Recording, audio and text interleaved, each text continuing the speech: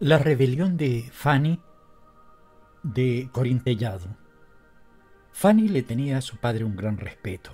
Sin embargo, aquella mañana hizo lo que nunca había hecho.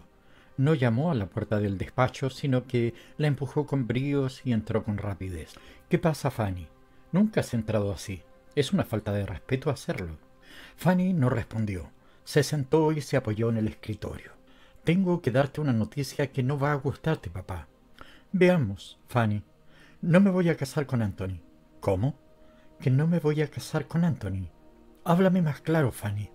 Anthony es un gran trabajador, un gran conocedor de los asuntos de nuestra hacienda, es un hombre bueno. Llevas dos años de noviazgo. Ha pasado el tiempo, papá, y me pregunto si es el hombre de mi vida, si es lo que yo necesito. Vamos, vamos, esas son niñerías. Tú te casaste muy enamorado de mamá, y cuando ella murió creí que te volvías loco. ¿Lo recuerdas? El semblante del caballero se contrajo ante el doloroso recuerdo. La quise mucho, es cierto, y ella a mí, pero al margen de eso considero que Anthony es un buen marido para ti. No, papá, nunca será mi marido. No me voy a casar con él, y vengo a decírtelo. Además, quiero hacer un viaje. ¿Un viaje? ¿Por dónde? En mi caravana. Dirás en tu Ferrari. No, en mi caravana, en mi jeep, papá. Iré a buscar a mi tío Antón. ¿Y eso? Llevamos mucho tiempo sin saber de él y es tu hermano. Voy a encontrarlo. Fanny, vas a cometer un disparate. No puedo obligarte a nada, pero Anthony es nuestro mejor empleado. Las oficinas de la empresa marchan divinamente gracias a él, te lo aseguro. Para eso sí vale, papá, pero no para ser mi marido. Los hombres a veces tienen grandes virtudes y puede que Anthony tenga muchas, pero para casarse conmigo no es el ideal, te lo aseguro. ¿Me estás hablando de negarte un futuro junto a Anthony? Sí, papá. ¿Se lo has dicho? Claro. Antes de comunicártelo a ti, se lo dije a él. ¿Y qué te respondió? Nada especial. Dijo, bueno, si tú lo decides así. Y se quedó tan tranquilo. ¿Es que no tiene sangre en las venas? Pues no sé qué opinar porque si mi futura esposa me dice eso, me volvería loco de tristeza. Pero es que tú no eres Anthony. Él puede enviar al este de Europa camiones llenos de vinos de todo tipo, de los buenos, de los malos, y hacer que la carga llegue correctamente a su destino. Pero lo que no puede es abrazarme con firmeza y decirme todas esas frases agradables propias de la persona enamorada. No sé qué responderte, Fanny. Desde luego no voy a obligarte. En cuanto a lo de la caravana y que vayas a buscar a tu tío Antón, me parece excesivo. Que te marches ahora a buscar a un hombre que lleva tres años sin acercarse a nosotros. ¿Y por qué hizo eso, papá? Muy sencillo. Yo soy el mayor y cuando falleció nuestro padre, a él le dejó el dinero y a mí la finca. El dinero, cuando se gasta, se acaba, pero la finca da todos los días su producto y eso es muy importante. A tío Antón no le gustó la repartición de los bienes y se marchó. Te aseguro que lo voy a encontrar, papá, y espero que aceptes bien el hecho de que no me case con Anthony. Yo no soy el que se va a casar, querida, y si ya se lo dijiste, no tengo más que añadir, pero Anthony se quedará en las oficinas todo el tiempo que le dé la gana y seguramente será el resto de su vida, dado su carácter apacible y simple. O sea, que a ti también te parecía simple, papá. Para ti, que eres tan especial, creo que sí, es muy simple. La hija besó a su padre y salió a toda prisa de la oficina. Con sus pantalones de color marrón, unas botas de cuero hasta la rodilla y una camisa a cuadros desabrochada, Fanny estaba sentada en el jeep. Llévate el coche nuevo. No, padre, no voy a viajar como una rica heredera, voy como una sobrina a buscar a un hombre que hace mucho tiempo no aparece por aquí. Don Braulio Villa de Moros se le quedó mirando con cierta simpatía. Tenía la pipa en la mano y se la llevó a la boca. Alzó una ceja, giró la cabeza y vio que el administrador también la estaba mirando. Ya lo ves, dijo caminando hacia él. Fanny es así. Me dijo que no piensa casarse con Anthony. ¿Te sorprende? No, nunca pensé en ellos como pareja. Anthony es una gran persona, un gran trabajador, pero para marido de su hija la verdad es que no lo veía. Pues nada, Fanny dice que se va a buscar al tío Antón. Eso ya es peligroso. Los montes determinan sus propiedades, pero el terreno no está bien. Puede encontrarse con algún peligro. No debió dejarla ir. Ojalá hubiera podido detenerla. Si Fanny decide algo, no hay forma de evitarlo. Nació guerrera y así morirá, pero es muy cariñosa. Y Anthony, por lo visto, no es el hombre para ella. Lástima. Ambos caballeros se alejaron juntos mientras Fanny conducía su jeep. Por la noche se refugió en una cabaña que ya conocía y al amanecer siguió manejando. Hacia el atardecer llegó a un poblado. Era una hacienda de viñedos. Se veían unas plantas muy sanas. Ella lo sabía porque era ingeniera agrónoma y desde que nació estaba familiarizada con los terrenos. Detuvo el automóvil y miró a su alrededor. Solo una de aquellas fincas estaba bien cuidada. Las demás estaban abandonadas, llenas de malas hierbas. ¿Busca algo, señorita? preguntó un obrero que trabajaba ahí. Sí, busco a un señor, mi tío Antón. Ah, aquella era su finca. La cuidaba y le daba buen fruto, incluso exportaba un buen vino pero un día apareció tendido allí y lo enterramos. Desde entonces su finca está abandonada. ¿Cuál es? Mire hacia el frente. Pusimos una cruz con su nombre, tío Antón. Nadie lo conocía por otro nombre. ¿Tenía familia? preguntó Fanny. No, aquí nadie la conocía. Vivía solo y apenas hablaba. Tal vez algún día lo vi con el dueño de esta finca, la que está trabajando usted. Sí, trabajamos mucho en ella. Tenemos los almacenes al otro lado, nuestras casas y la de don Nicolás. ¿Don Nicolás qué? Duque Villamarín. Es el heredero de su tío, que también se llama Nicolás. Ya. Tío Antón habrá hecho testamento. ¿Hay algún juez por aquí? Sí, don Simón. ¿Ve usted aquella casa grande, la blanca, que está rodeada de árboles frutales? Esa es la casa del juez. Fanny no dijo nada más. Subió a su automóvil y se marchó. Llegó a la casa y preguntó por el juez. Enseguida la llevaron a un despacho. Claro que antes había dado el nombre de tío Antón. Vamos, de modo que usted es pariente de Antón. Soy su sobrina directa. Vaya, siéntese. Su tío se acordó de usted. Aparte de su finca, le dejó mucho dinero. Lo tiene depositado en el Banco Central. Le voy a entregar toda la documentación y puede pedir esa fortuna. ¿No le dejó nada a su hermano? No, todo a usted. Fanny se quedó pensativa y tomó el maletín con los documentos. No tenía prisa en marcharse y decidió quedarse por esa zona. ¿No hay un hotel por aquí? No, no hay hoteles, pero puede quedarse en una finca de esas y ya tendrá donde dormir. Claro, para hacerlo tiene que trabajar allí. ¿Sabe? Fui amigo de tío Antonio y conozco su historia, así que no es necesario que se detenga más para contármela. El juez le pareció impertinente con su comentario y Fanny prefirió no responder. Cuando llegó a la finca detuvo el jeep y descendió. Avanzó por un camino muy cuidado. Una señora con pinta de ama de llaves apareció en la puerta. ¿Qué desea? le dijo. Busco trabajo. Pues no sé si aquí se lo darán. Vaya por ese camino y entre en las oficinas. Allí están los dos Nicolás, el tío y el sobrino. Gracias. Era una muchacha hermosa con la tez morena y los ojos claros como si fueran los de una gata. Su cabello era negro. Desde la ventana alguien la miraba. Tío Nico, mira lo que viene ahí. Vaya mujer. ¿De dónde habrá salido? Espera, creo que viene hacia aquí, tío Nico. Si pide trabajo, dáselo. El sobrino asintió. Fanny apareció en el umbral y dijo, ¿Se puede? Pasa, ¿qué deseas? Venía buscando a tío Antón, pero ya supe que murió. ¿Lo llamas así por su apodo o porque era tu tío? Por ambas cosas. Siempre lo oí llamar así y además era hermano de mi padre.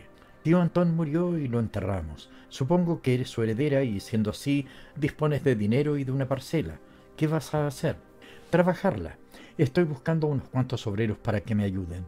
¿Crees que todos esos árboles van a resucitar? preguntó Nicolás. No lo sé, pero lo intentaré. Estoy habituada a trabajar en el campo. Pues no lo parece, tienes aspecto de dama, dijo Nicolás con ironía. ¿Con botas y pantalón?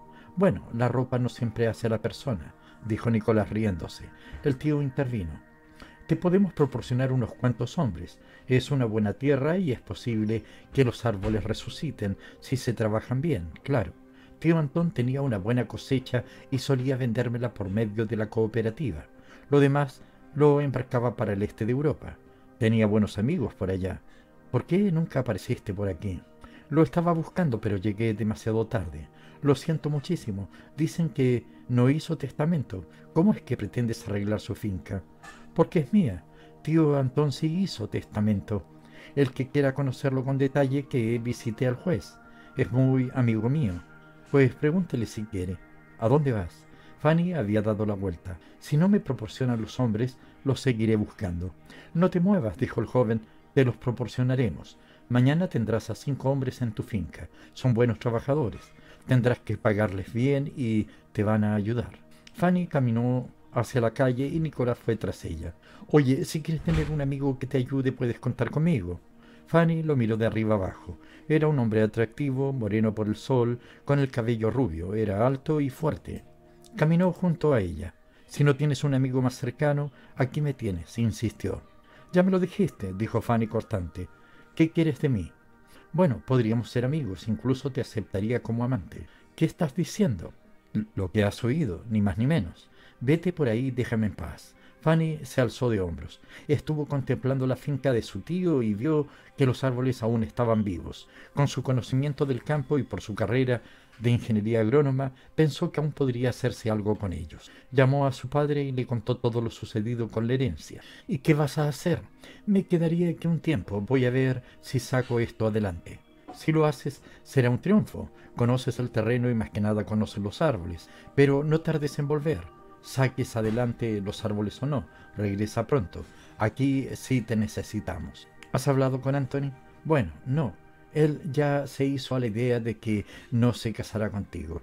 Ya tendrás noticias mías, papá. No dejes de dármelas. Fanny miró hacia el fondo. Los montes eran altísimos. Sabía que tras ellos se hallaba la mayor riqueza de la zona, la hacienda de su padre. Había miles de árboles que producían un fruto sano y de calidad, pero todavía no había llegado la cosecha. A ella le gustaba hallarse en su propia casa cuando la cosecha se producía. Era abundante y prolífica. Su padre era un hombre multimillonario, un magnate del vino. Se alzó de hombros. Al día siguiente recibió la visita de cinco hombres. Habló con ellos sobre el salario y los hombres se pusieron a trabajar, comentando que pagaba mejor que Nicolás Duque. Este era el dueño de la finca más cercana, una finca reluciente, cuidada, más pequeña que la suya. Algún día seguramente la heredaría el joven que estaba con su tío en la oficina. Los hombres trabajaron todo el día y avanzaron mucho.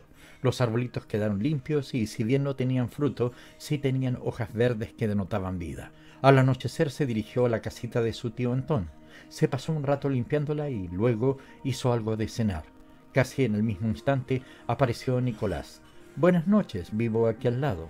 No pienses que te vengo a visitar para provocarte, solo quería saludarte. Me es igual, no soy de las que se dejan provocar. ¿No te gustan los hombres? Me gustan como a ti las mujeres, pero detesto a los presumidos y tú lo eres. Oye, hablando en serio, por aquí no hay mujeres tan guapas como tú. ¿Debo agradecértelo? No, solo te pido que pienses si puedo ser una buena pareja para ti. No, no lo eres. ¿Y qué buscas en una pareja? un hombre correcto que sepa tratar a una mujer con delicadeza. Vamos, un tonto. Pues no, los tontos no me gustan. ¿Y ahora quieres dejarme sola? No, venía a proponerte algo. Podríamos ser amantes, vivimos cerca y si nos gustamos de verdad, incluso podríamos pensar un día en casarnos. Será mejor que eches a correr, porque de lo contrario, saco la pistola que llevo en el cinturón y te meto dos tiros. Vaya con la chica. Sí, soy valiente, y me enseñaron a defenderme desde niña. ¿De dónde procedes? Tío Antón nunca te mencionó. Pues era mi tío, y te aseguro que no le hubiera gustado tu actitud. ¿Sabes? No creo que sea su sobrina, le dijo Nicolás pensativo. No te voy a convencer, ve a ver al juez y él te explicará. ¿No dijo tu tío que era su amigo? Pues ve a verlo. Claro que iré, pero antes déjame que te pregunte si puedo pasar la noche contigo en este lugar. Claro que no. ¿Quién te has creído que soy? No ando buscando hombres por los caminos. Sola, en un jeep. ¿Qué tengo que pensar de una mujer así? Me da igual, vete de aquí.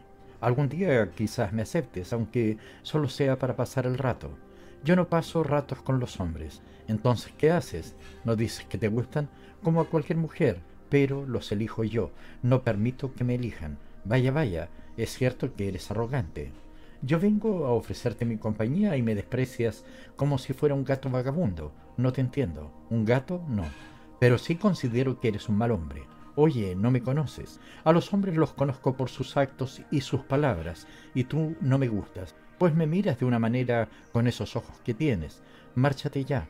Pienso volver mañana y todos los días hasta convencerte. Oye, ¿es que por aquí no hay mujeres que acepten ser amantes de un hombre tan atractivo como crees que eres? Es que me gustas tú. Pues te aguantas, amigo. Y le cerró la puerta en las narices. Nicolás llegó a su casa y se sentó junto a su tío. Era su heredero.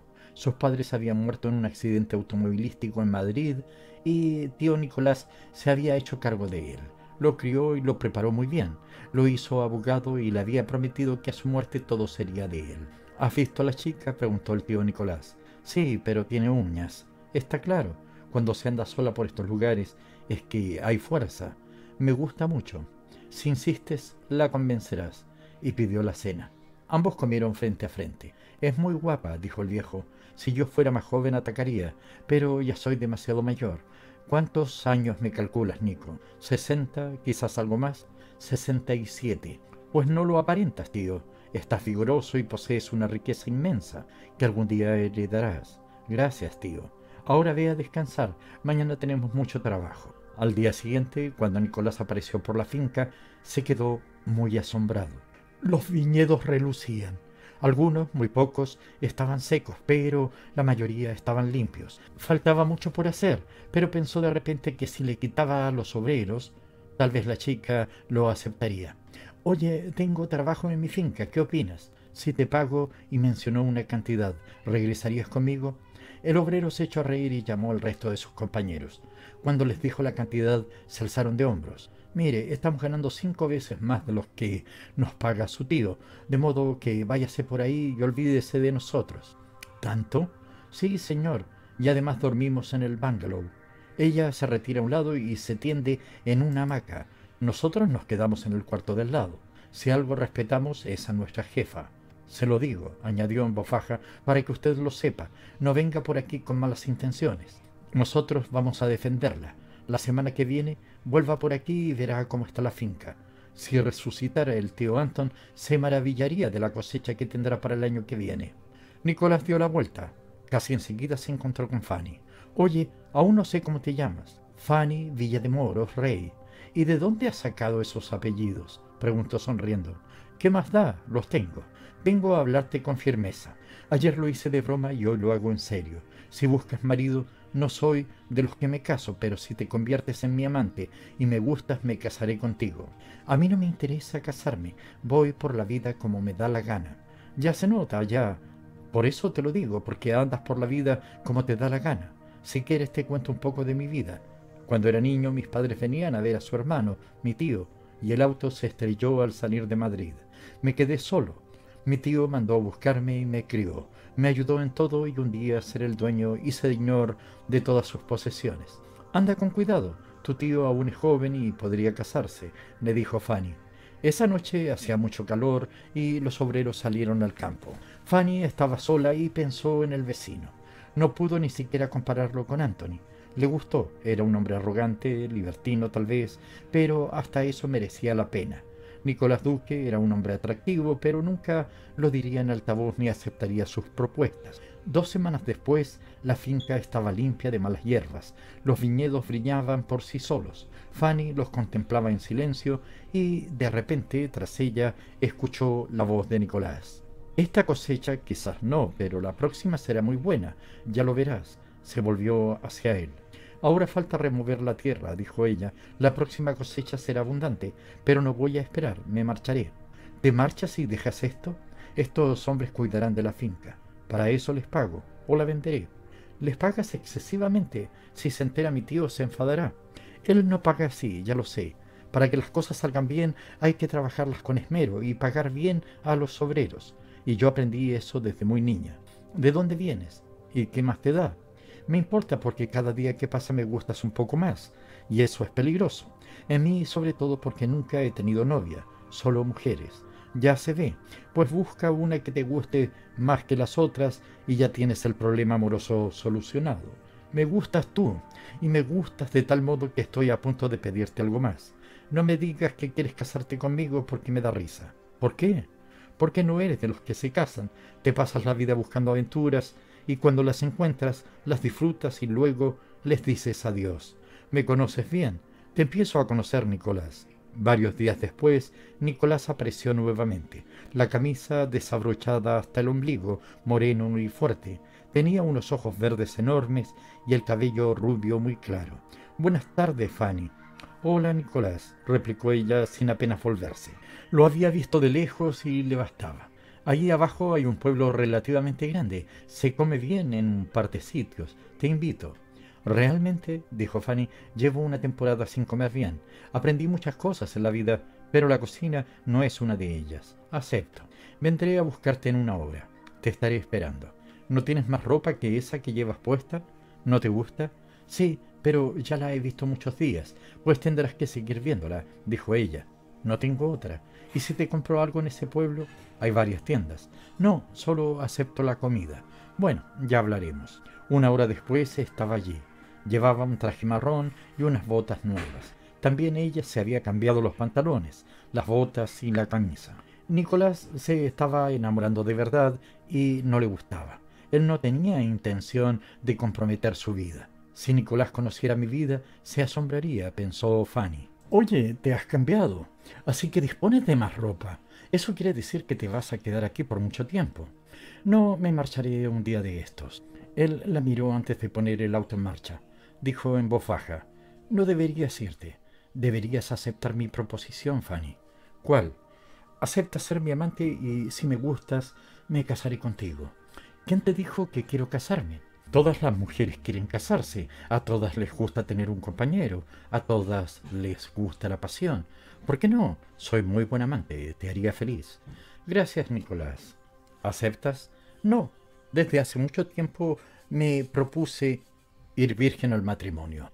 Eso es una cursilería. Nadie te lo va a agradecer, ¿sabes? He averiguado un poco de tu vida. Sé que tío Antón era hermano de tu padre y que te dejó una fortuna. Mejor para ambos. Yo no podría casarme con una pobre. Mi tío posee las tierras, pero no tiene mucho dinero, pues gasta demasiado. Suele ir al pueblo a buscar mujeres para pasar el rato. Con las posesiones de mi tío seré muy rico en tierras, porque soy su heredero, pero quiero tener mucho dinero. Bueno, hablemos de otra cosa. Nicolás replicó, como guste, Fanny. Sentados a la mesa en un restaurante de buena fama, Nicolás la miró seriamente. Sentía que se estaba enamorando de Fanny y no le gustaba la idea de comprometerse. Oye, Fanny, te hablo en serio. Déjate de remilgos con eso de la virginidad. Es una tontería. Yo empiezo a enamorarme de ti, ¿sabes? Voy a irme pronto, dijo Fanny. No sé si volveré, porque tal vez venda la finca. Tengo un buen comprador. Fíjate lo que te digo, Fanny. Tendrás que venir a buscarme, pues no voy a seguirte. Si un día decides ser mi amante y mi esposa después, tendrás que decírmelo. ¿Me estás desafiando? Te lo estoy advirtiendo. Piensa que si cedes hoy, mañana puedes ser mi mujer. Tengo ganas de casarme y de tener hijos, formar una familia. Me parece, Nicolás, que conmigo te equivocas. Yo no soy blanda, ni siquiera soy sentimental. Un poco, tal vez, pero no me desafíes, no voy a venir a buscarte. ¿Quieres apostar a que vendrás? ¿Y eso por qué? Porque te necesito y te amo. Empecé de broma y ahora estoy loco por ti, pero también tú lo estás por mí. Esos ojos te delatan, Fanny. Claro que sí, pensaba ella. Nunca creí enamorarme de alguien, pero es verdad, tienes razón. Por eso voy a huir. Te has quedado muy callada. ¿En qué piensas, Fanny? Si te digo la verdad, me he quedado en blanco. Mintió. Estoy decidida a volver a mi casa. ¿Y dónde está tu casa? Bastante lejos. Vine a buscar a mi tío Antón y encontré su tumba. ¿Y su finca? dijo él. También, pero pronto no será mía. La venderé antes de irme. ¿Tu padre está vivo? Sí. ¿Se enfadaría si vendes esta finca? Mi padre nunca se enfada conmigo. Él me adora. Y no puedo saber dónde vives para ir a verte. ¿No me estás diciendo que soy yo la que tengo que venir a buscarte? Eso es otra cosa. Hablo de ser amantes, no para visitarte tan solo. Oye, Fanny, piénsalo un poco más antes de irte. Permíteme que pase la noche contigo uno de estos días, y después te pediré que te cases conmigo, te lo aseguro. No me voy a casar, Nicolás, no tengo esa intención. recuerda esto. Si un día cambias de parecer, tendrás que venir a decírmelo. Anochecía cuando regresaron. Al llegar ante el bungalow que ocupaba Fanny, Nicolás la besó en la boca. Fanny había sido besada por Anthony, pero el beso de Nicolás era tan distinto que se separó con cierta violencia. Él la tomó por la cintura y la besó de nuevo. Esta vez ella, aunque no respondió, se quedó quieta. Minutos después se soltó de él con una extraña dulzura que conmovió a Nicolás. Eres sensible, dijo, muy sensible. Me gustaría pasar la noche contigo. Vete, gracias por la comida. Oye, Fanny, ¿mis besos te gustan? Adiós. Entró en el bungalow, cerró la puerta y ya no quiso saber más de Nicolás. A la mañana siguiente, muy temerosa de lo que pudiera ocurrir con Nicolás, subió a su auto y lo puso en marcha. Sintió tras ella los gritos de Nicolás. Fanny, Fanny. Pero no se detuvo. Dos días después llegó a su casa. Le contó a su padre con detalles todo lo que había ocurrido con la finca. ¿Qué más pasó? No ha pasado nada, padre. Puse en marcha la finca y la vendí muy bien. No, Fanny, no me engañas. Tienes una expresión triste y pensativa. Antes, cuando eras novia de Anthony, me lo decías todo. Sabrás que se fue. ¿Sí? Parece ser que quiso un cambio en su vida. Encontré a otro empleado muy bueno y todo marcha bien en la finca. Pero te veo triste, hija. Te equivocas, padre, no lo estoy. Entretenida con la cosecha, dio órdenes. En un momento se encontró con la mirada de Fernando, el administrador. Oye, ¿qué te pasa? ¿Por qué? Todo el mundo me pregunta lo mismo. No me pasa nada. Desde que regresaste de la finca del tío Antón, andas por los terrenos como ausente. Otros años disfrutabas con la cosecha. Este año te has visto dar las órdenes como si esto no fuera contigo. Pues no me ocurre nada. Y como estaba montada a caballo, se lanzó a galope por el campo. Cruzó el río y de pronto vio otro caballo que avanzaba hacia ella. El jinete murmuró Pero si eres Fanny, la sobrina del tío Antón, ¿Qué es de tu vida? ¿Y tú no eres el capataz de los duques? ¿Qué haces aquí? Me quedé sin trabajo. ¿Y eso? Pasaron cosas en estos meses que no estuviste, pasaron cosas. Cuéntamelas si no te importa. Pues verás, el viejo duque empezó a salir más de la cuenta y venía muy borracho. El sobrino quiso enderezarlo un poco, pero ya era muy tarde. Un buen día el tío regresó al amanecer con una señora y con una muchacha. ¿Y quiénes eran? Y yo qué sé, el viejo se casó. ¿Cómo? Pues que se casó. Nicolás el joven se sintió abrumado, pero esperó. El viejo murió enseguida y la viuda quiso echar al sobrino de casa. Le dijo que se fuese, que aquello era de ella. Nicolás dijo que no, que de ninguna manera. Fue a ver a don Simón y se quedó de piedra. Don Simón, que era íntimo amigo de su tío, le dijo que tenía que irse porque la dama tenía todos los documentos de propiedad en regla. Don Nicolás le fue vendiendo poco a poco sus bienes y en el poco tiempo que estuvo casado con ella le cedió todo. Esta última cosecha ya la vendió ella. El juez le sugirió que se casara con la hija de la viuda, pero Nicolás le dijo que jamás lo haría. Ahora él está en la finca que heredó de su madre, una parcela pequeña y la está arreglando él solo. Vive en un bungalow que hizo él mismo, Está intentando revivir esos viñedos, pero creo que no lo va a conseguir. Yo intenté ayudarlo y me dijo que me fuese, que no podía pagarme. Por eso busco trabajo. Estos terrenos son de la finca que ves allí. Ven, te presentaré al administrador para que te dé trabajo, dijo sin añadir que era la hija del dueño. Fanny buscó a Fernando y le dijo, viene ahí un hombre que es un buen capataz, contrátalo, pero no le digas que soy la hija del dueño. Si te pregunta, yo trabajo aquí. De acuerdo. Cuando el ex capataz de los duques vio aquella grandeza, quedó asombrado. ¿De quién es todo esto? Fernando se adelantó a contestar. Pertenece a un señor llamado Braulio Villademuros. ¿Necesitas trabajar? Es lo que buscaba. Ve a mi oficina, luego iré. Ahora voy a comer. Si quieres pasar por la cocina, te darán algo de comer. Esto es de alguien muy poderoso. Mucho. Pórtate bien y no hagas preguntas indiscretas. Fanny fue a ver a su padre. Me voy en el jeep. Mujer, llévate tu coche, para eso te lo compré. No, padre, mi problema está en casa del tío Antón. Hay algo por esos mundos que te llama la atención, ¿verdad? Sí, pero no sé si conseguiré algo. Eres joven, rica y bella. ¿Qué más puede pedir un hombre? Estoy muy enamorada, papá. Iré a buscarlo. está en una necesidad. Contaba heredar todo lo de su tío y resulta que su tío se casó a última hora y la herencia es de su esposa. Con trampas, sin duda, pero es de ella. A él lo echaron y está viviendo en un bungalow miserablemente. ¿Y por qué no lo llama sin necesidad de ir a buscarlo? Porque un día me dijo que si me marchaba tendría que buscarlo. Pues falta nos hace en esta finca un hombre así, pero me temo que no quiera venir. ¿Y si sabe que eres mi hija? Un día le dije mi apellido, pero seguramente se le olvidó. No, no se le olvidó. Esas cosas no se olvidan y cuando hay tantos millones de por medio, menos. Si quieres, mando a buscarlo, Fanny. No, padre, tengo que ir yo. Fanny durmió mal aquella noche. Preparó todo para salir al amanecer. Su padre le había dado su permiso, pero le había advertido que si Nicolás no quería venir, iría él mismo a buscarlo. Tenía que evitar semejante cosa. Su padre y Nicolás se parecían, eran hombres de campo, gente fuerte y decidida. En el jeep Fanny atravesó el monte a toda velocidad. Casi enseguida buscó el sendero que la llevaría hasta la finca de los Duque. No es que fuese allí, pero por aquella finca podría orientarse para llegar hasta la parcela donde, según el capataz, estaba Nicolás. No supo cuándo anochecía, porque estaba tan obsesionada con llegar que apenas sí se daba cuenta de las horas. Vio algo en el camino, cielo santo, si era un hombre tendido sobre unos arbustos. Fanny detuvo el jeep y saltó a tierra. Cuando llegó junto a él, cayó de rodillas. Nicolás, murmuró, ¿qué te ocurre? ¿Por qué estás aquí? ¿Qué haces aquí tirado? Nicolás no contestaba. Abrió los ojos y murmuró a media voz. Fanny, estás aquí. Vengo a buscarte, Nicolás. Ven, estás helado, tengo mantas, te taparé. Deja, ¿qué más da? Vengo a buscarte. ¿No me dijiste que si te necesitaba tendría que venir a buscarte? Pues ya estoy aquí. Mientras hablaba, lo ayudaba a incorporarse. Lo sentó en la camioneta y lo tapó con unas mantas. Lo besó muchas veces, le acarició la cara y le alisó el pelo.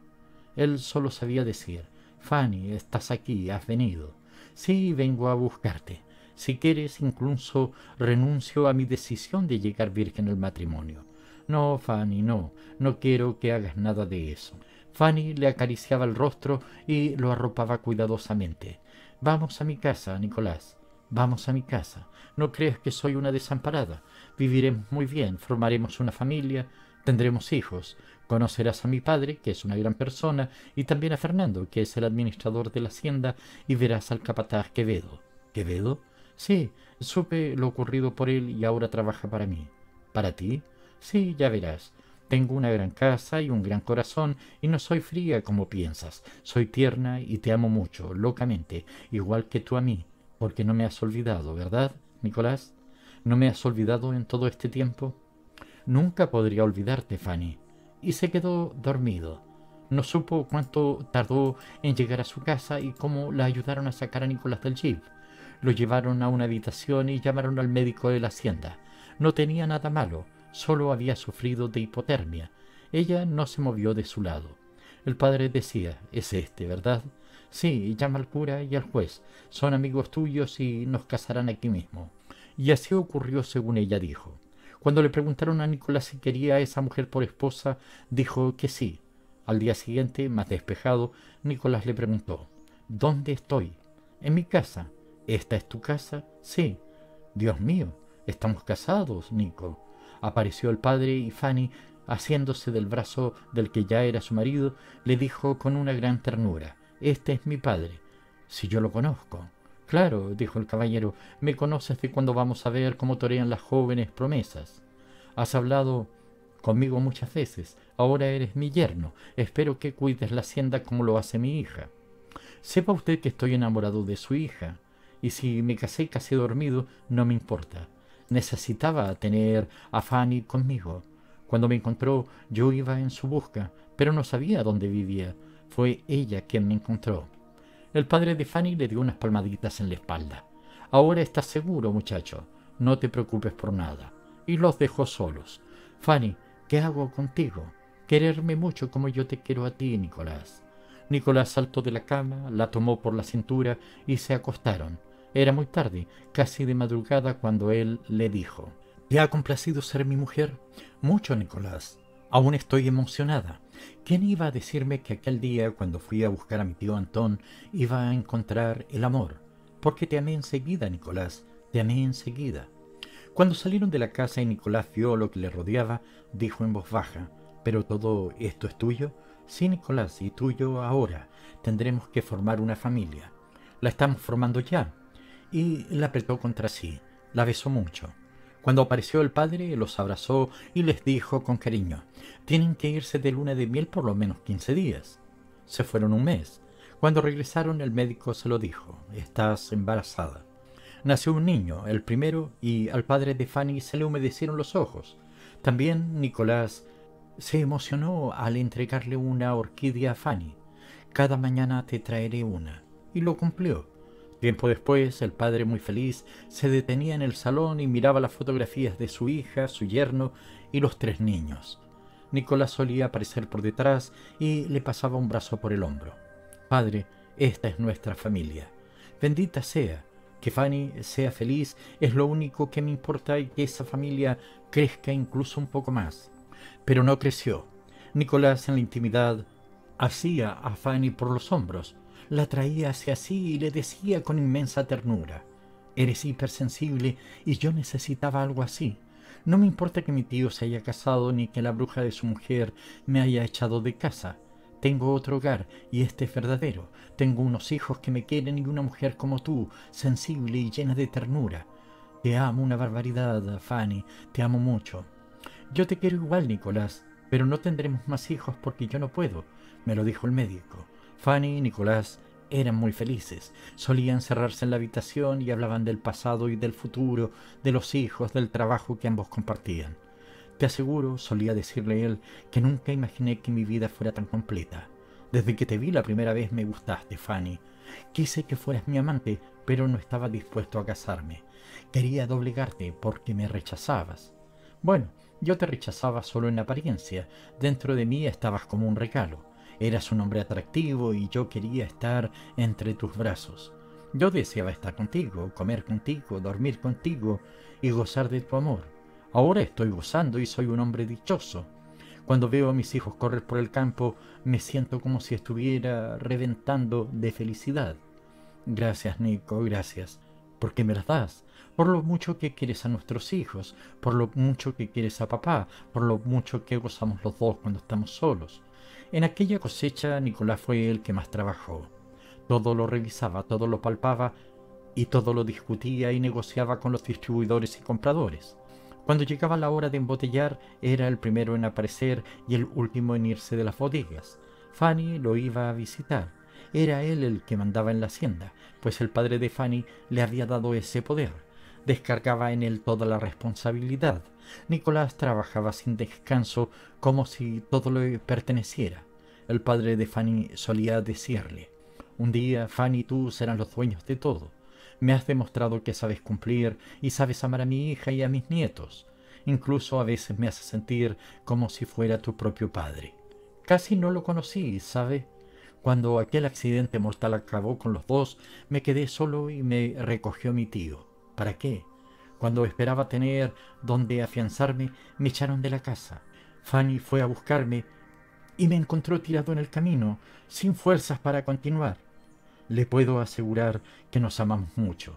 Días después, por primera vez, se fueron con sus tres hijos a un bungalow que habían adquirido en la playa.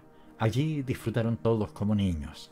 Cada vez que los veo jugar de ese modo, decía Nicolás, me veo a mí mismo en la soledad. Fanny, ven a mi lado, acércate, deja que te sienta, que te abrace. Me sientes, Nicolás, y tú lo sabes.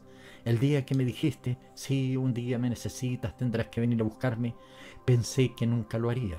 Pero en mí había una gran necesidad de verte, por eso fui a buscarte. Gracias a Dios llegué a tiempo. Te amo, Fanny. Cuando creí que todo estaba perdido en mi vida, apareciste y me rescataste. Nunca podría vivir sin ti. Feen.